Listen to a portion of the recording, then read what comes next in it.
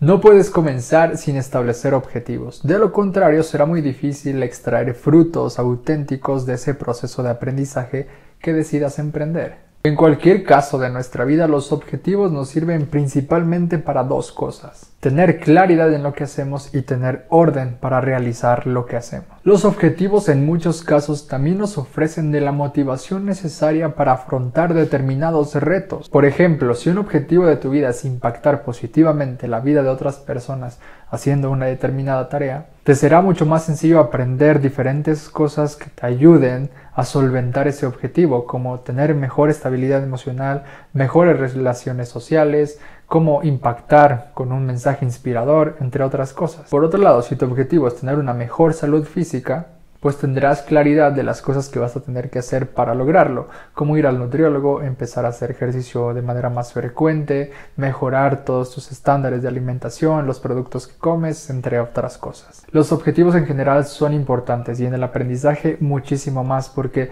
te darán esa ruta, esa orientación y esa motivación que necesitas para afrontar los retos que se te presenten cuando estés aprendiendo una determinada materia. Aquí la clave está en establecer objetivos claros, precisos y alcanzables. Para generar esos objetivos existen varios sistemas y aquí te voy a presentar algunos. Uno de ellos es el método SMART. Consiste en establecer objetivos inteligentes de la siguiente manera.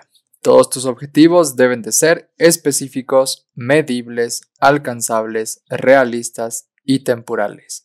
Veamos cada uno de ellos. Primero, tus objetivos deben de ser específicos. Sé muy concreto, no generalices. Para lograrlo, te sirve preguntarte qué quieres lograr. Segundo, debes de ser medibles. Aquí puedes preguntarte lo siguiente. ¿Cuánto tiempo vas a invertir para lograr tus objetivos? ¿Horas, días, semanas, meses, años? Tercero, plantea objetivos alcanzables. Pregúntate, ¿cómo vas a lograrlo?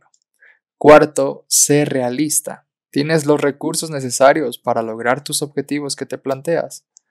Quinto, piensa en el tiempo. ¿Cuánto va, ¿Cuándo vas a iniciar y cuándo vas a terminar?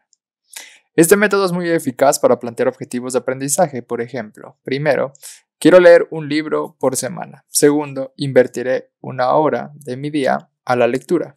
Tercero, durante seis meses integraré esta actividad a mi rutina y no desayunaré si no leo antes. Cuarto, Leeré libros de no más de 200 páginas. Quinto, a partir de la próxima semana comenzaré a leer a las 6 de la mañana.